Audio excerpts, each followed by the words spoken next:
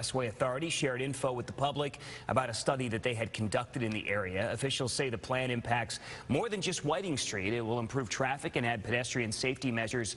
And a big reason why this is happening now, the old Conagra flour mill will soon be moved. And so now that the flour mill is getting ready to leave, that that's our opportunity to make the grid system work better in downtown Tampa, but it also gives us an opportunity to make some changes at the Florida ramp to make the traffic flow on the Selmon Expressway work better. So we're told once the plan's approved by the county and the authorities board, the project could get underway in about two years. We want to hear from you about what traffic changes you think are needed in your neighborhood. Our tip line there is on your screen. You can also find it on our website in our driving